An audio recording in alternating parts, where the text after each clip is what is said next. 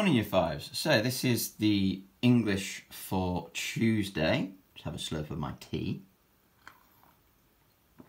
in a massive mug. Said the boss. Ha! Doesn't mean I'm not definitely not the boss of the house. Uh, right. So punctuation. Mr. Cooper said, "I missed my class." So the reporting clause actually at the start of this sentence, but you still have the same punctuation. So you have a comma after the said now to show that there's speech coming up. Inverted commas, so speech marks around I miss my and class. Full stop at the end. Simple as that. The boys' toilets were always very clean.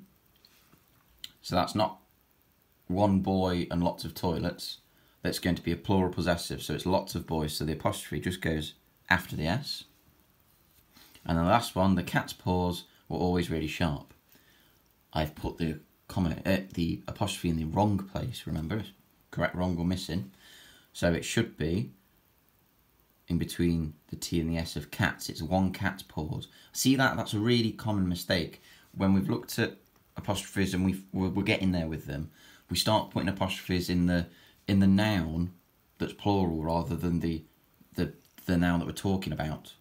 Okay, like the subject of the sentence sometimes. So it's the cat's paws. So it goes uh, in the cat's one. Um, Hi friends, it's been quite sunny except for yesterday. Should be that one, except. That one's except as in you accept something. Now, hopefully I have not missed out any letters. I promise you, Year 5s, I check these. Every time I make them, I check them. I write it out, I cross off the letter. I don't know how I'm missing letters out. Let's have a look. Now, solve the anagrams of these two words. They look tricky. And I'm going to completely admit something, year fives. I have put down the piece of paper that I used to create these. And so I can't work them out myself. I found some, but I can't find them all.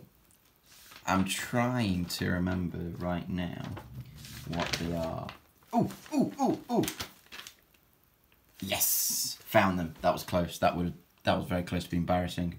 So, wait, yes. that first one is insecure, and the second one is inactive. What I suggest you do with these is hopefully you should all have your spelling journals with you. Um, I would have a look. I would flick through the pages and see if you can work out what they are. What I am doing is they're from the same list every t- every day. So today's were off the, the list that was I think it was an in prefix. So they're always from the same rule. I might put that I might make that clear next week. I'll put which you know the rule that they're they're from perhaps. Well, that might me too easy then. Anyway, so insecure and inactive. Well done if you got those. I've just had to check what they were. Identify the subject and verb. So the dog barked. Well, the dog is the subject of that sentence. It barked. Dave fell. Dave is the subject and he fell. Making clear that a sentence can actually be two words. It doesn't mean the biscuit is a sentence. Yes, we've got a subject, we haven't got a verb. The is a determiner to tell you it was that biscuit, the biscuit I'm talking about. But just the biscuit isn't a sentence. It's not a complete thought. You've not told me anything about the biscuit. Okay. Whereas Dave fell. Well, Dave fell, didn't he? What a wally. The flower started to grow.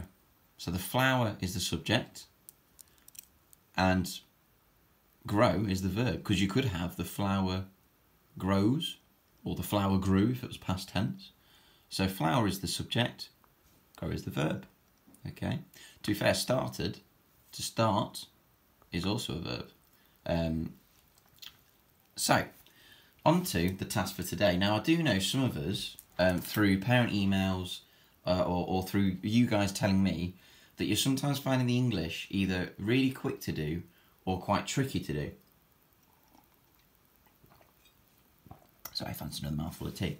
Now, I totally understand that because you're not surrounded by everyone else talking about the work as well. You've not got me in my ear at me in your ear, should I say, or me writing examples or hearing examples from everyone else. So it is. It is. I, I understand, guys. It's tricky, but you've got to imagine that these are tasks that are in school. You know, the journey that we're doing each week. I'm giving you a tech. I'm giving you a WAGOLL, and then I am giving you tasks to build up to it, to help you with planning and generating vocabulary.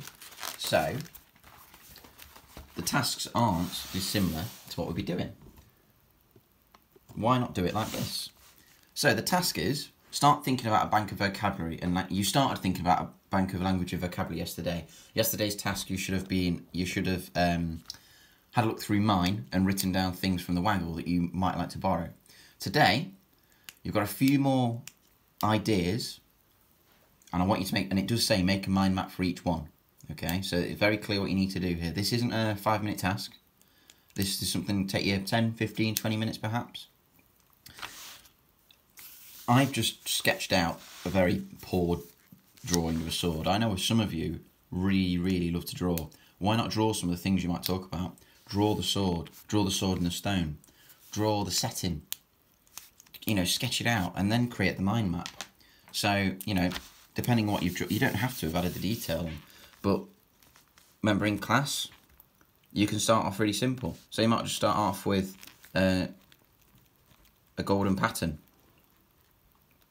Maybe there's a golden pattern on your sword. Then that might develop to actually let's like, let's make that better. Um, ooh, encrusted pattern. Maybe for pattern, you want to say um, ornate, which means very delicate, or maybe maybe you want delicate. Um, words for, for the sword. This is the hilt of the sword or the handle. Maybe the blade, steel. Maybe you've got a steel blade. Maybe you've got a made up word for it. Maybe you've got a different element, a different element that's made that makes up your your your sword. Um, what does it do? It glimmers. It shines of it shines of power. Ah, I don't know. Made that one up. Um, your thoughts during the storm. You've got when you find it thoughts. You've got thoughts. You've got during the weather, or you can do what we normally do, and you just have what do I see? What do I hear? What do I touch? Feelings and emotions, which is a bit more broad, and you can get more of your ideas down. But you've got lots that you can describe here. You know, absolute, absolute important ones. You know, bare minimum. You're going to want some description on your setting, your mountains, the weather, the snow, the wind. But in that setting, what do you see? What do you hear? What are your emotions in that? Okay. You're also going to want to think about you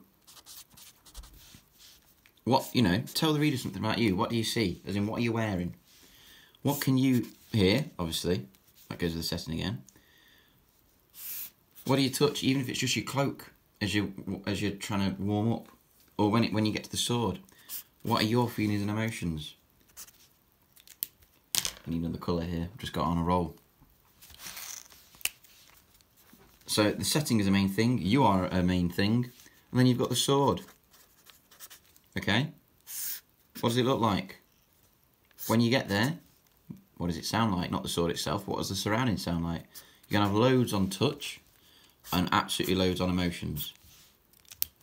So there's loads of different ways you can do this. You can either go crazy, draw loads of things out, draw each thing that you want to describe, which I think some of you would love doing that, you know, colour it in, get, get it really popping off the page and that'll help you describe it.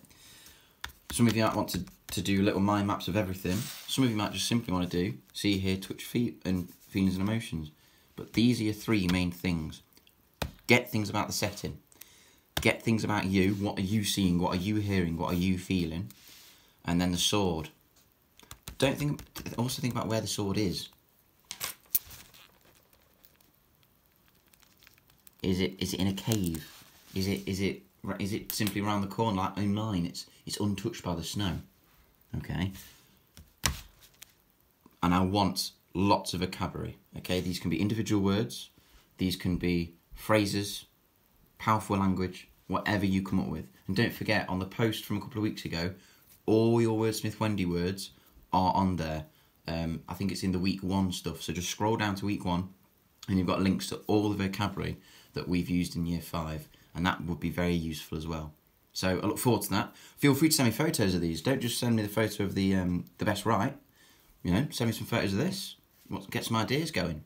Okay, I can always put them on and share them with other people. So good luck with that. Enjoy, get your brains flowing, and really get some powerful, powerful imagery and powerful thoughts going. Good luck with that.